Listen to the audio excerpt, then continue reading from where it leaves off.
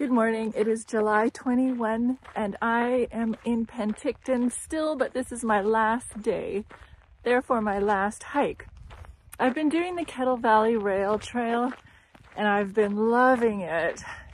But I stopped yesterday. I had to turn around at a certain spot and I thought I would pick up from there today, but I read more and I want to do this section instead. So I kind of misled you yesterday as to my intentions, but I think this will be a really neat trail. I'm at the Naramata section and my aim is to get to the little tunnel. So that sounds pretty enticing, doesn't it? It's a gorgeous morning.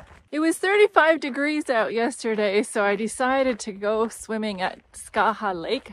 I was there for a couple hours, but then all the people chased me away. There's just crowds there and I don't like that. But anyway, it was nice to experience it and cool off. And I am a water baby. I love the water. So that was really fun.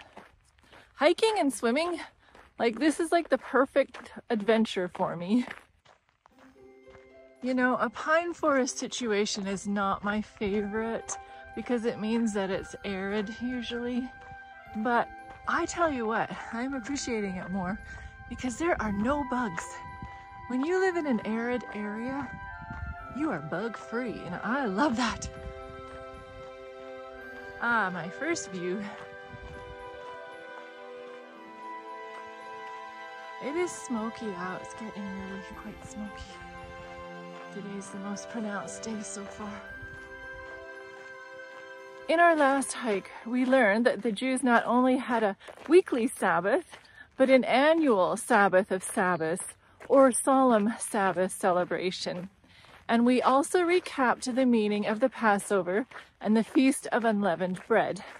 Today we will learn about the other five feasts and their meanings. So the Feast of First Fruits says, And the Lord spoke to Moses, saying, Speak to the children of Israel, and say to them, When you come into the land which I give to you, and reap its harvest, then you shall bring a sheaf of the first fruits of your harvest to the priest. He shall wave the sheaf before the Lord to be accepted on your behalf. On the day after the Sabbath, the priest shall wave it. And you shall offer on that day, when you wave the sheaf, a male lamb of the first year, without blemish, as a burnt offering to the Lord. Its grain offering shall be two tenths of an ephah of fine flour mixed with oil, and offering made by fire to the Lord for a sweet aroma. And its drink offering shall be of wine, one fourth of a hin. You shall eat neither bread nor parched grain nor fresh grain until the same day that you have brought an offering to your God. It shall be a statute forever throughout your generations in all your dwellings. The presentation of the first fruits was a part of the celebration of the days of unleavened bread. It took place on the day after the Sabbath, the 16th of Abib. This day was neither a holy convocation nor a Sabbath. On the 14th day of Abib, a certain section of a field of barley was marked off to be cut down in preparation for the presentation on the 16th. Three select men cut the barley in the presence of witnesses, having already tied the sheaves together before cutting them. After being cut, the sheaves were all tied together into one large sheaf, and this sheaf was presented to the Lord as the sheaf of the first fruits. In addition, a perfect male lamb, a cereal offering mingled with oil, and a drink offering were presented to God. Not until this was done could Israel make use of the fruits of the fields for themselves. This ceremony pointed to Christ, the first fruits, and then to those of us who are Christ at his second coming. Jesus represents the first fruits in that he was raised from the grave and then presented himself before his heavenly Father. Jesus died on Friday. He rested in the grave on Sabbath. Then, when he rose on the first day of the week, he ascended to his Father to hear the words of God's acceptance of his sacrifice. Believe it or not, this creek is giving me such a nice cool breeze. And walking in a pine forest is cooling as well. Oh, that is Robinson Creek. Next comes the Feast of Weeks.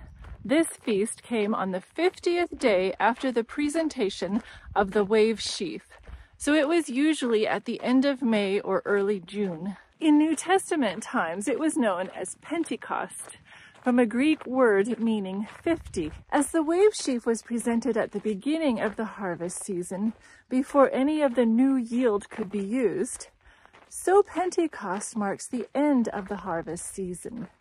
Barley was the beginning of the season, and wheat marked the end of the harvest season. It was the joyous acknowledgement of Israel's dependence upon God as the giver of all good things. At this time, a sheaf was not presented, but rather two wave loaves of fine flour baked with leaven, together with seven lambs, a bullock, and two rams. This was accompanied by a goat for a sin offering and two lambs for a peace offering. As you will recall, in the Passover celebration, no leaven was to be used. But now at Pentecost, the bread was to be baked with leaven.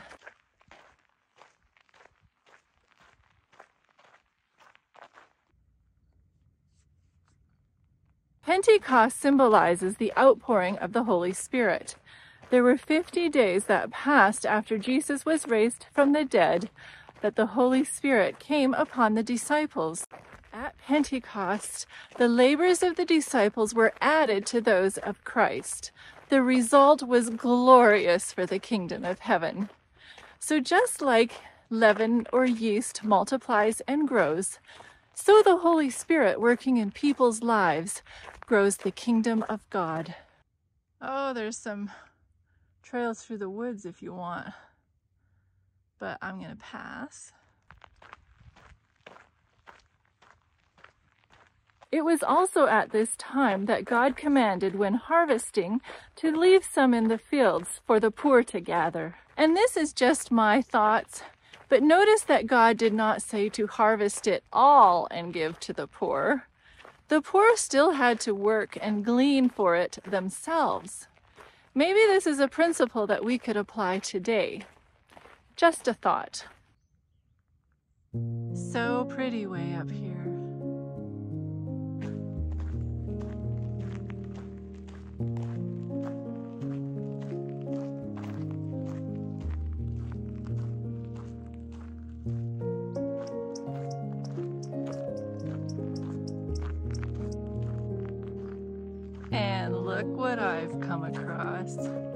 I made it! Oh, it's not that deep. You can see the other side already. Okay, this is spectacular on the other side of the tunnel now. Wow.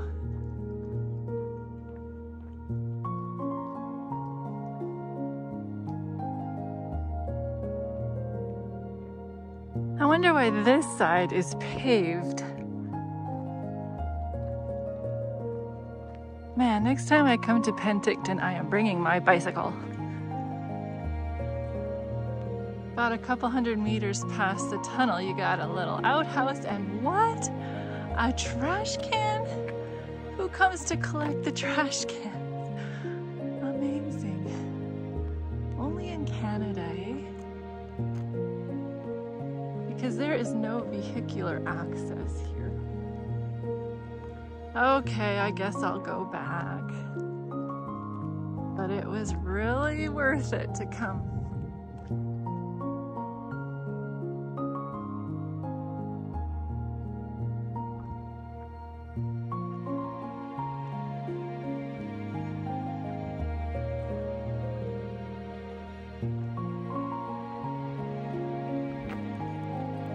I just think of them having to blast this out way back then. This is just a little tunnel. Ah, so fun.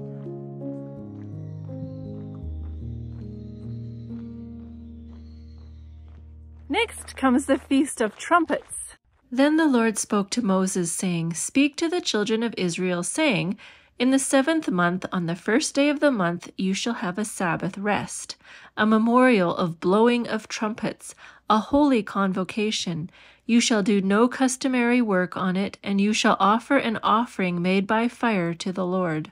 It was a shout to acclaim God as king in the camp of Israel. It was on the first day of the seventh month, which is now called Rosh Hashanah, or the Jewish New Year, and it appears to be a reminder of God's protective sovereignty. It was a holy convocation, for on the day the trumpets were blown, you knew the Day of Atonement was at hand, and the first nine days of the month were spent in preparation for it. So that segues into the Day of Atonement, or Judgment Day. And the Lord spoke to Moses, saying, Also the tenth day of this seventh month shall be the day of atonement. It shall be a holy convocation for you. You shall afflict your souls, and offer an offering made by fire to the Lord. And you shall do no work on that same day, for it is the day of atonement, to make atonement for you before the Lord your God. For any person who is not afflicted in soul on that same day shall be cut off from his people. And any person who does any work on that same day, that person I will destroy from among his people. You shall do no manner of work. It shall be a statute forever throughout your generations in all your dwellings. It shall be to you a Sabbath of solemn rest, and you shall afflict your souls on the ninth day of the month at evening. From evening to evening you shall celebrate your Sabbath. God condemns those who fail to humbly show loyalty to Him on the Day of Atonement. This is the time when God's sanctuary, which represents His administration and reputation, is cleansed of sins in the sense that He is shown that He is right when He has already forgiven the loyal and in condemning the disloyal among His nominal people. I talked about this in depth a few hikes back, so I'll leave a link to it at the end if you are interested in learning more. Lastly is the Feast of Tabernacles. The fifteenth day of this seventh month shall be the Feast of Tabernacles for seven days to the Lord. On the first day there shall be a holy convocation. You shall do no customary work on it. For seven days you shall offer an offering made by fire to the Lord. On the eighth day you shall have a holy convocation, and you shall offer an offering made by fire to the Lord. It is a sacred assembly, and you shall do no customary work on it. Also on the fifteenth day of the seventh month, when you have gathered in the fruit of the land, you shall keep the feast of the Lord for seven days. On the first day there shall be a Sabbath rest, and on the eighth day a Sabbath rest. And you shall take for yourselves on the first day the fruit of beautiful trees, branches of palm trees, the boughs of leafy trees, and willows of the brook. And you shall rejoice before the Lord your God for seven days. You shall keep it as a feast to the Lord for seven days in the year. It shall be a statute forever in your generations. You shall celebrate it in the seventh month. You shall dwell in booths for seven days. All who are native Israelites shall dwell in booths, that your generations may know that I made the children of Israel dwell in booths when I brought them out of the land of Egypt. I am the Lord your God. This was the last feast of the religious year during our month of October, when the autumn harvest was done and the fruits had all been gathered in. It was a joyous occasion for everyone. The Day of Atonement was past, all misunderstandings were cleared up, and the sins were confessed and put aside. Branches were used to make booths in which the Israelites were to live during the feast. On the Day of Atonement, people were to afflict their souls at the Feast of Tabernacles, they were to rejoice. It was altogether the happiest day of the year when friends and neighbors renewed friendship and dwelt together in love and harmony. In this respect, it was prophetic of the time when the great ingathering of God's people shall take place, and people will come from the east and the west and shall sit down with Abraham and Isaac and Jacob in the kingdom of heaven. The Feast of Tabernacles was commemorative of the time when the children of Israel lived in tents in the wilderness. The Healing Hiker rating of this little tunnel on the KVR is a 4 out of 5. That was pretty special. Just one annoyance is the cyclist. Lots of cyclists. Only one other gal was walking it. But I now have a new pet peeve, so I've really been having to practice my Christianity, and I've been failing sometimes. These bicyclists, they feel like they need to ring their bell at me, even though I'm walking on the very edge of the pass and they have plenty of room to pass me and there's nobody coming, and yet they feel like they have to ring their bell, and it's just very annoying to me. So, God forgive me. I know that some people still keep these feasts, even though it is not required anymore. There are so many different festivals and annual celebrations that churches celebrate even now, like Christmas and Easter and St. Patrick's Day and Ash Wednesday and Epiphany, etc., etc. So I feel like if they help bring you closer to Jesus, then there's no harm in celebrating them. I myself enjoy celebrating Easter and Christmas. It is well to remember how God has led us in times past. It is well to bring to mind his providences, for we are sometimes prone to complain at the way he is leading us today. Is it not well to think of the many blessings God has bestowed upon us and the wonderful ways he has guided our lives? To do so would make us more appreciative and thankful. And thankfulness is a vital part of religion.